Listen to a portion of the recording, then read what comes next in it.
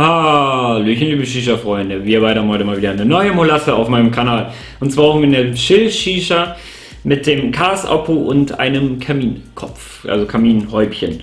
Genau, wir haben heute eine neue Molasse für euch auf meinem Kanal und zwar mal wieder PX1. Ne? Kennen wir mittlerweile. Mischt man an das Ganze mit Rottabak, 9,49 Euro, kostet eine 100 Milliliter Flasche mit 25 Gramm Rottabak, der kostet 4,40 Euro. Zum Beispiel Nubia Super Dry kommt man denn, also kann man das zusammenmischen. Und wir haben heute den Red Berry Ice. Das sehen wir hier drauf. Einmal eine Himbeere, eine Casisbeere, also schwarze Johannisbeeren, einen Sternanis und Eis, also Menthol. Genau, schauen wir nochmal, was hier so drin ist. Im ersten Moment dachte ich, okay, das ist ja wie das eine Liquid für die E-Zerte, Red Ester oder wie sich das Ganze nennt. Aber schauen wir nochmal, ob es so ist. Ne? Also vom Schnitt muss ich euch das Ganze nicht zeigen, auch nicht von der Feuchtigkeit. Das Ganze mischt man ja wie gesagt selber an, da ist man ja selbst überlassen, welchen Tag man nimmt. Schauen wir noch mal, wie das Ganze riecht. Und das Ganze riecht schon mal nicht nach der Himbeere, die ich geil finde. Das kann ich schon mal gleich vorweg sagen. Diese Joghurt-Himbeere. Ich weiß nicht, ob ihr darauf auch aber ich finde diese einfach abnormal geil. Das kann ich nur bei jedem Himbeertabak sagen. Man riecht eine schöne dunkle Johannisbeere. Schön fruchtig das Ganze. Also wäre jetzt schon mal so boah, ein krass fruchtiger Tabak. Also er bringt so eine richtig geile fruchtige Note rüber, diese Himbeere und diese Johannisbeere.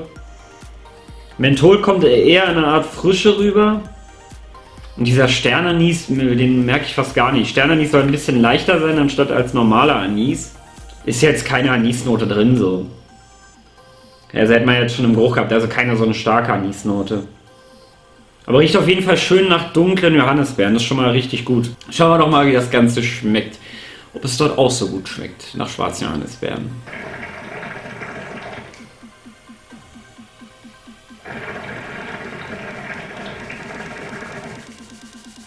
Ich habe mir vor dem Video mal die Beschreibung durchgelesen vom PX1, also von der Molasse. Da soll nur ein Hauch Kühle drin sein, beziehungsweise eine leichte Kühle und ein Hauch Anis.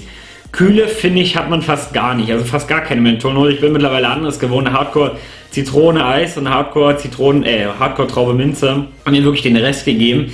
Jetzt weiß ich, was PX1 für eine Eisnote kann. Hier finde ich, ist es fast gar nicht so stark. Also fast gar nicht so. Man hat so eine leichte Frische, kommt so mit. Aber sonst eigentlich gar nicht so eine starke Mentholnote.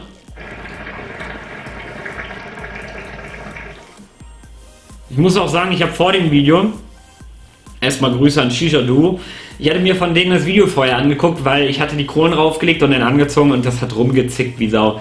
Es hat wie verbrannt geschmeckt, es hat einfach gedrückt im Hals, es ging wirklich gar nicht klar. Also ich konnte nicht länger als eine Sekunde ziehen und ich musste anfangen zu husten.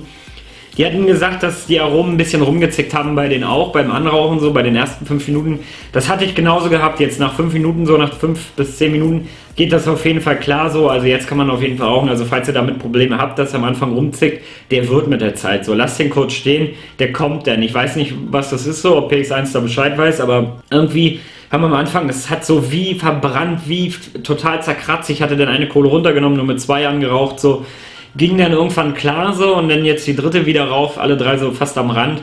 Und jetzt geht es auf jeden Fall klar, nur falls das bei euch auch ein bisschen rumzickt. Aber vom Geschmack hast du einen sehr, sehr schön fruchtigen Tabak. Du hast eine sehr, sehr schöne schwarze Johannisbeere, die auch wirklich richtig gut rüberkommt.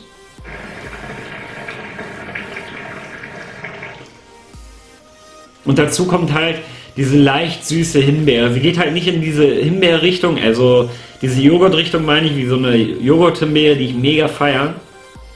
Geht sie leider nicht. Aber ich glaube, ich würde einfach diese schwarze Johannisbeere untergehen und ich würde mich hier voll auf diese Himbeere stürzen, weil, wie gesagt, ich feiere das. Ähm, aber diese, es ist ein schön fruchtiger Johannisbeer-Himbeer-Tabak. Also er hat, Molasse meine ich natürlich, hat auf jeden Fall so eine geile Kombi und diese dunkle Johannisbeer kommt richtig schön rüber. Richtig schön stark. Fast so wie im Original, so wenn man sie isst. Also so richtig schön getrunken. Es ist, äh, getrunken. so richtig schön getroffen. Es ist ein richtig, sagen wir mal, dunkler Tabak. So. Man, man kann ihn fast als dunkel bezeichnen. Also es kommt diese richtige dunkle Note mit rüber. Ich weiß nicht, wie man das beschreiben könnte im Geschmack. Es ist so, es kommt halt so ein dunkler Film mit rüber. Das kann man fast sagen. So ein dunkler Trauben, also nicht dunkler Trauben, so ein dunkler Bärengeschmack kommt rüber.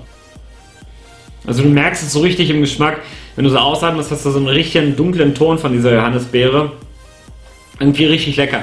Dieser Sternanis, beziehungsweise dieser Anisnote und Hauch Anis, ist jetzt hier meines Erachtens fast. Nee. Also ich merke keine Anisnote. So, die Mentholnote fehlt mir so ein bisschen, muss ich sagen. Also du hast so einen leichten Hauch an Frische, so, aber diese Eis-Mentholnote fehlt mir so ein bisschen. Und auch diese Anisnote. Anisnote muss ich jetzt sagen, hätte jetzt ja auch nicht unbedingt reingemusst, dass sie so ganz, ganz leicht fast nicht da ist. Finde ich auch in Ordnung. Aber ich muss sagen, als Hardcore-Note würde der wahrscheinlich auch richtig bocken. Diese Johannisbeer- und Himbeernote noch ein bisschen krasser anheben, also noch, noch einen Tick anheben so. Sie ist so schon voll gut vollmundig, aber noch so ein bisschen anheben, diese Hardcore-Note reinhauen und das ist ein mega Ding, würde ich sagen. Also es würde mega knallen. Zwar würde es wahrscheinlich am Anfang auch wieder ein bisschen rummucken, aber das würde mega knallen. Also das würde einfach die Geschmacksexplosion, glaube ich, des Todes sein, wenn da noch eine Hardcore-Eisnote drin wäre. Aber so an sich ist es auch ein gut vollmundiger Tabak. Eine schöne dunkle Johannisbeere, richtig gut getroffen. Nicht zu übersüßt, so nur so eine leichte Süße, aber es kommt einfach eine geile Beerennote rüber. Also für Beerenfreunde auf jeden Fall zugreifen, Freunde. Also dunkle Johannisbeeren und diese Himbeere bringt einfach diesen geilen Beerenflavor hier mit. Muss ich ganz ehrlich sagen. Also man hat so einen richtigen Beerengeschmack im Mund. Nicht wie nicht Beerenfleisch so, sondern Beerengeschmack, die am Busch hängen. Nee, also auf jeden Fall es taugt das Ganze. Wie Red ST hätte ich jetzt erst gedacht, wie das Liquid ungefähr. Ja, da fehlt halt dieser Anisnote, da müsste die Anisnote noch einen Ticken stärker sein, so. Und auch diese Eisnote einen Ticken stärker, so. Dann kommt es in die Richtung von diesem Liquid. Red ST ist von äh, T-Juice, ist ein Liquid. Ähm, hätte ich jetzt gedacht, weil jetzt PX1 ja auch mit Liquid so macht, so hätte ich gedacht, dass da so ein bisschen angelehnt ist.